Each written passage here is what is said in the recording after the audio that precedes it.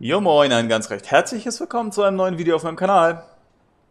Es war das erste Mal. Es kam unvermittelt und ich habe nicht damit gerechnet, aber es hat sich gut angefühlt. Nein, die Rede ist nicht von der Sache mit den Bienchen und den Blümchen, sondern die Rede ist von Jet Battle, beziehungsweise meinem Kampf gegen Jets. Es ist ein kleines Replay, das ich dir nicht vorenthalten will, das wir uns gleich anschauen werden. Ähm, grundsätzlich erstmal, was ist passiert?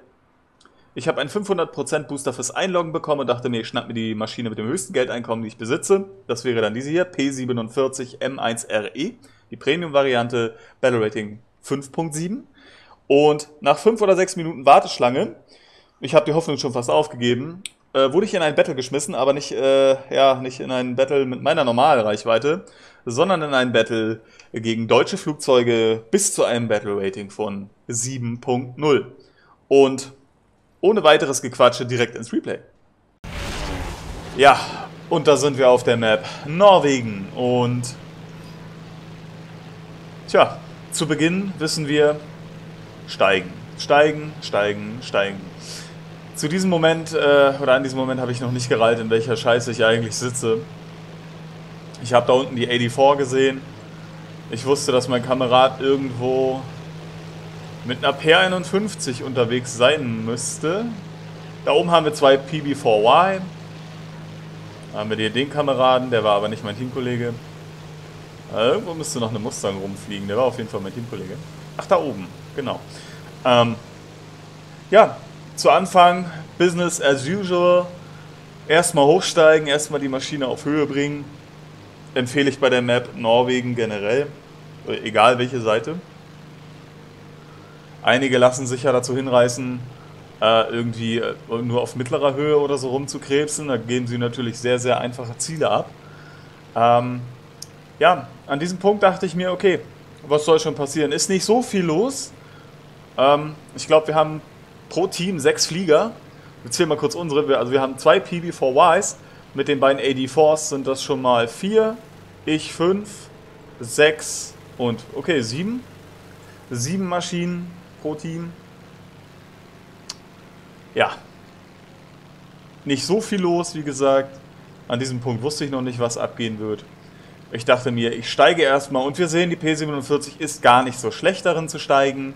Ähm, abgesehen davon, dass sie halt sehr, sehr hübsch aussieht, ist sie halt auch noch sehr gut darin, ähm, Höhe aufzubauen. Wir sehen da drüben die PB4Y. Es hilft natürlich auch, dass die Maschine einen Airspawn kriegt, egal auf welcher Map. Man startet ja immer auf der Abfangjägerposition und ähm, an diesem Punkt wusste ich noch nicht so genau, was ich mache. Jetzt war ich erstmal hier oben, jetzt habe ich gesehen, gut, du siehst hier keine Bomber. Naja, was willst du großartig machen? Die AD-4s sind sowieso sehr weit unten, da fliegst du nicht hin, auf, auf die äh, Höhe gehst du nicht wieder runter. Und da war mir schon so klar, okay, ich versuche jetzt, äh, ja, Eskorte für die PB4Ys zu geben. Das war dann so mein Plan. Ich bin dann also weitergestiegen. Ich habe natürlich so geguckt, was die Kollegen hier so machen, die ja mit mir zusammen die einzigen Jäger hier bei unserem Team waren. Also wir waren im Prinzip nur drei ernstzunehmende Jagdflugzeuge. Der Rest ist ja AD4, wenn man weiß, wie es geht. Okay, kann man auch gut noch als Jagdflieger benutzen. Äh, aber die äh, PB4Y ist auf dem Battle Rating dann äh, von 7.0 ähm, ziemlich leichtes Kanonenfutter.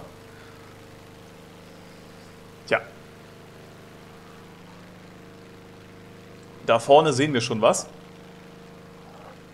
Das habe ich auch gesehen. Ich habe dann erstmal so ein bisschen drauf zugehalten.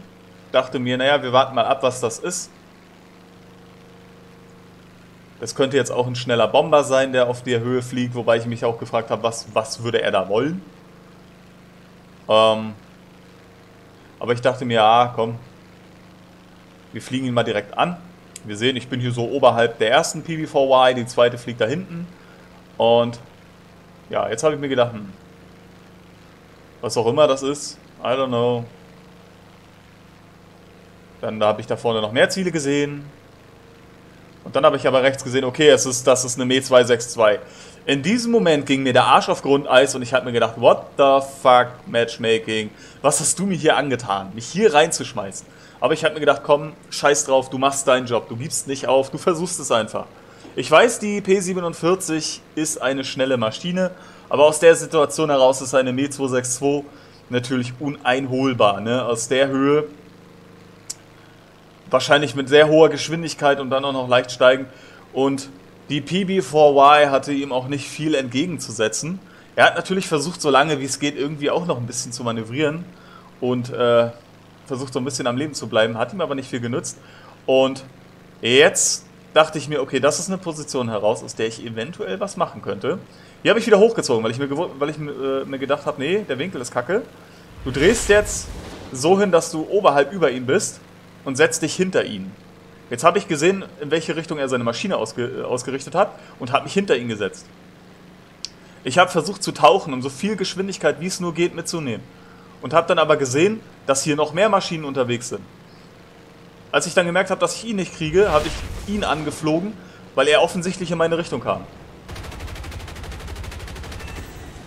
Getroffen habe ich ihn und wir sehen dort den Rauch, den er hinter sich herzieht. Ich habe ihn also getroffen, jetzt kann ich mich wieder hinter ihn setzen. Er hat jetzt an diesem Punkt natürlich auch ein beschädigtes Triebwerk. Und er versucht jetzt, mich auszumanövrieren, was allerdings auch sein Fehler war. Er versucht jetzt hier diese Situation zu retten. Er hat begriffen, dass er mich nicht ausmanövrieren kann und versucht in einem Dive zu entkommen.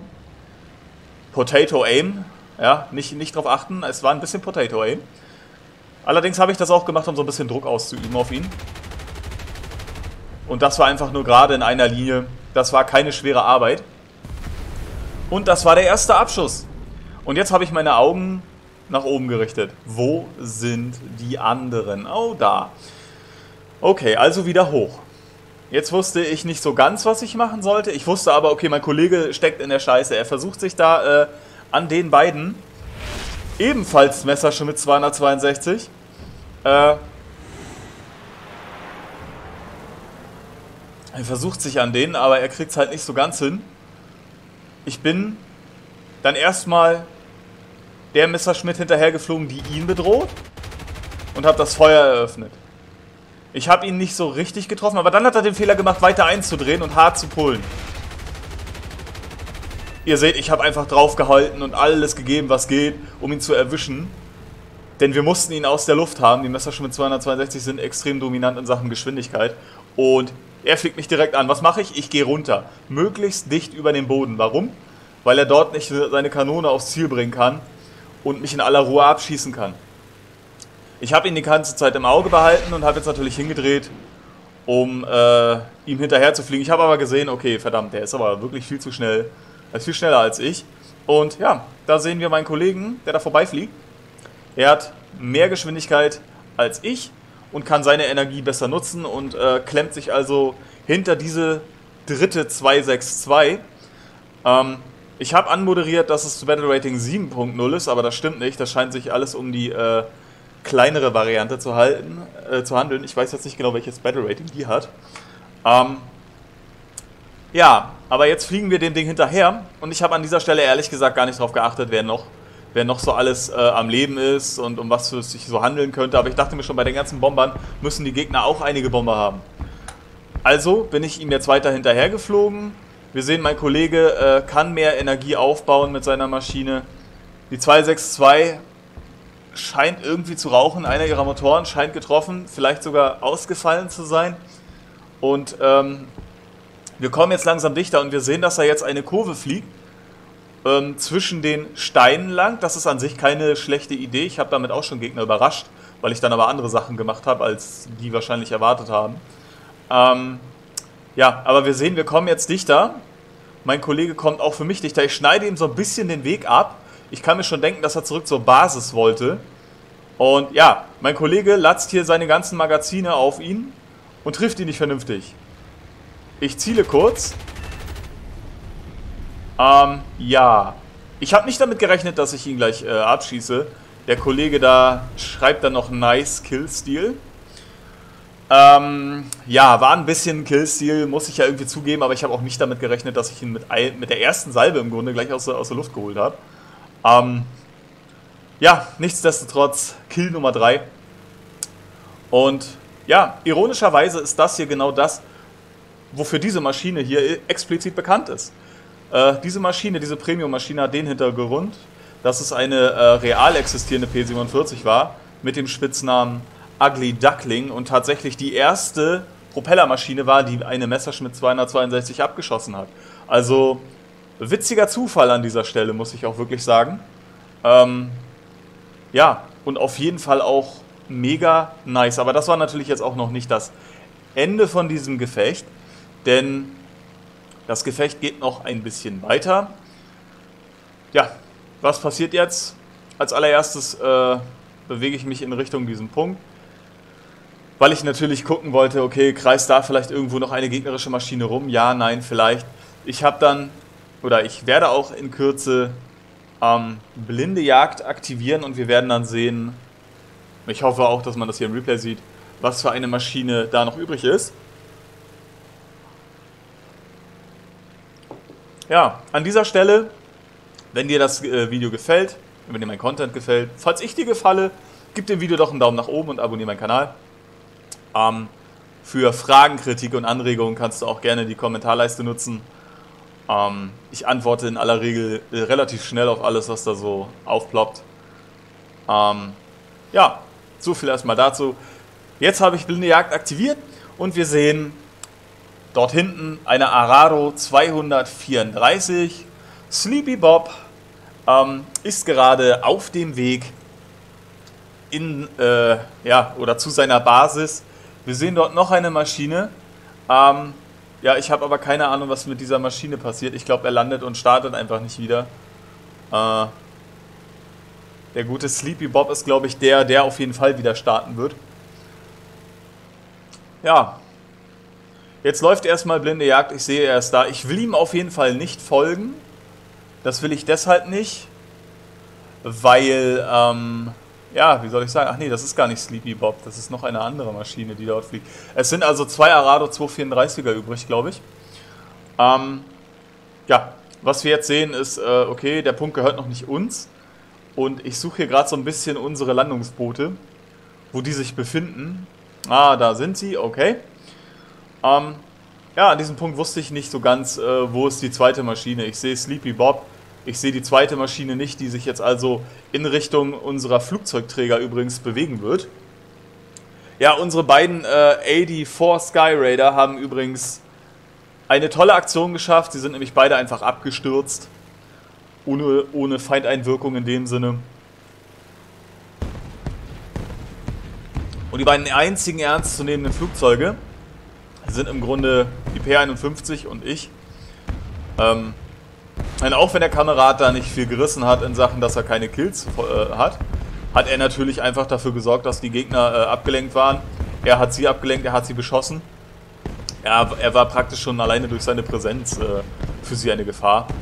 Ja, jetzt werde ich hier von der Flak beschossen und habe deswegen so ein bisschen äh, Ausweichkurs geflogen. Ich spule jetzt auch absichtlich nicht vor, auch wenn das Ganze jetzt hier so ein bisschen länger dauert.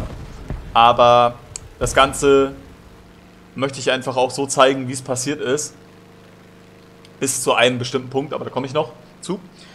Ähm, ja, wir sehen jetzt hier, da ist die AD4 Sky Raider. Ich fliege jetzt so ein bisschen über ihn. Ich will ihn decken, weil ich nicht weiß, was hier noch so fliegt und was hier nicht so fliegt. Ähm, ja, deswegen decke ich ihn. Ich fliege so über ihn und dachte mir, ja komm, gibt so ein bisschen Fighter-Cover, falls irgendjemand sich dazu hinreißen lässt, ihn anzugreifen. Wenn er zum Beispiel Bodenziele angreift, wird das ja unten rechts auch angezeigt. Und dann kann es natürlich sein, dass sich ein eventuell verbleibender Jäger denkt, oh, mm, mm, lecker, eine 84. Okay, ähm, ja, jetzt sehen wir, ich äh, fliege wieder runter. Ich baue so ein bisschen höher ab. Ziel des Ganzen ist es, ich wollte eigentlich so ein bisschen unter die Wolkendecke wieder durch, damit ich ein bisschen was sehen kann, aber ich dachte mir, ja komm, ist egal. Jetzt ziehe ich also wieder hoch. Ich habe so ein bisschen die Motorleistung runtergenommen. Das habe ich deshalb äh, gemacht, um Sprit zu sparen. Auf der Map nehme ich übrigens immer ein bisschen mehr Sprit mit, weil ich dazu tendiere, einer der letzten Überlebenden zu sein. Und da hilft es dann, wenn man ein paar Tropfen mehr im Tank hat und äh, ja, doch noch ein bisschen länger durch die Gegend fliegen kann. Ähm, die P47 an sich ist äh, super zu fliegen und Wie gesagt, die Maschine an sich kann ich auch absolut empfehlen, weil das Ding druckt Geld wie bescheuert. Selbst ohne Premium machst du damit echt viel Geld. Ist auch, ja, seitdem ich die Maschine habe, habe ich auch absolut keine Geldprobleme mehr. Die Maschine ist halt echt, das Ding druckt Geld. Wenn du gut fliegen kannst, kauf dir das Ding. Das Ding wird dir einfach nur Geld drucken. Ist der reine Wahnsinn. Ähm, ja, wir sehen dort unten unser Kamerad mit der P51. Der wartet jetzt übrigens quasi darauf, dass der Punkt eingenommen wird und er landen kann. Da wird er nämlich, das wird er nämlich auch noch tun. Wir sehen Blindhand auf, war auf ihn die ganze Zeit. Die ist jetzt abgelaufen. Jetzt weiß der Gegner also auch nicht mehr, wo er ist. Dachte ich mir, hm, okay, was machst du jetzt? Okay, neuer Plan. Jetzt habe ich den Plan gefasst. Ich fliege in Richtung Feindbasis. Und das hat sich hinten raus auch als absolut richtig erwiesen. Ähm, ich bin jetzt einfach Richtung Feind geflogen. Richtung Feindbasis. Und ähm, ja, wir sehen hier ist noch eine ganze Menge Flakfeuer. Aber relativ unpräzise. Ich kann mir hier also Zeit lassen. Ich bin auch wieder so ein bisschen am äh, Steigen.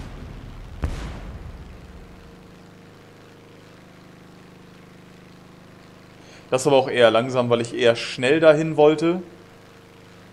Um einfach ähm, ja, Gegner eventuell früh zu überraschen, die dann noch auf niedriger Höhe umherfliegen und dann äh, auf sie runterstoßen zu können. Das war so der Plan, das war so die Idee. Und ich habe mich jetzt hier an dieser Stelle auch schon so umgeguckt. Ich habe also äh, mich in Dot-Spotting probiert, ob ich irgendwo einen Punkt sehe, der ein feindliches Flugzeug darstellt. Ich habe allerdings an diesem Punkt ähm, kein gegnerisches Flugzeug ausmachen können. Äh, ich habe nicht nur in Richtung Feindbasis geguckt, ich habe auch überall andersrum geguckt. Denn es kann ja sein, dass jemand schon früher wieder gestartet ist, relativ am Anfang des Battles zurückkam und dann einfach versucht hat, äh, wieder auf Höhe zu kommen und mir jetzt eventuell auf gleicher Höhe entgegenkommt. Aber wir sehen, es passiert nichts. Irgendwie passiert gar nichts. Hm. Ja, wir bleiben mal noch ein bisschen weiter auf Kurs, denn wir sehen, hier ist es relativ entspannt und easy. Man kann sich in aller Ruhe umgucken. Man kann hier entspannt fliegen. Jetzt drehe ich die Maschine und fliege zurück Richtung Basis. Warum habe ich das gemacht? An diesem Punkt habe ich gedacht, gut, okay, eventuell so viel Sprit hast du hier nicht mehr drin. Ähm, und außerdem könnte es wohl jetzt passieren, dass da irgendwo die Gegner jetzt schon da sind. Aber jetzt habe ich weggedreht das habe ich aus dem Grund gemacht, weil ich da die Luftabwehr von den Trägern und alles habe schießen sehen. Und an diesem Punkt äh, ist Folgendes passiert. Und zwar hat eine Arado einen unserer Flugzeugträger versenkt. An diesem Punkt war das für mich relativ wichtig zu wissen. Und dort sehe ich ihn schon. An diesem Punkt habe ich diesen dort schon gesehen. Und ich sage verdammt oft an diesem Punkt. Fällt mir gerade selber auf. okay, ich sehe ihn, okay? Ich, ich sehe ihn, ich habe ihn ausgemacht. Ich fliege also weiter. Und ich weiß, okay, ich kann ihn kriegen.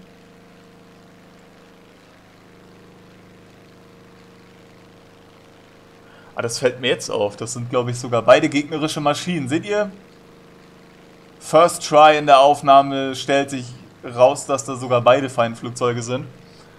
Naja, ich habe aber nur einen von beiden gesehen und ich glaube, das ist jetzt der vorderen von beiden gewesen, der jetzt also gleich in meine Sicht ploppen wird. Ja, da sehe ich ihn unter mir. Und ihr, ihr seht, ich fliege direkt über ihn, drehe dann runter. Ich nehme auch an dieser Stelle die Motorleistung weg, weil ich weit über ihm bin. Ich will natürlich nicht so schnell werden. Da haben wir ihn. Okay.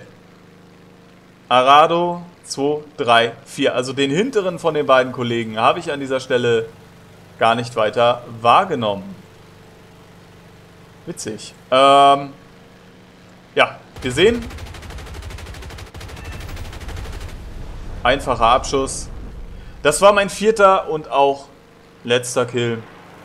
Und ähm, ja, an diesem Punkt, wie gesagt, die andere Arado habe ich nicht gesehen. Ich wusste nicht, dass er dort ist. Hätte ich das gesehen, hätte das mein fünfter Kill sein können. Ach, verdammt. Aber egal, nicht so schlimm.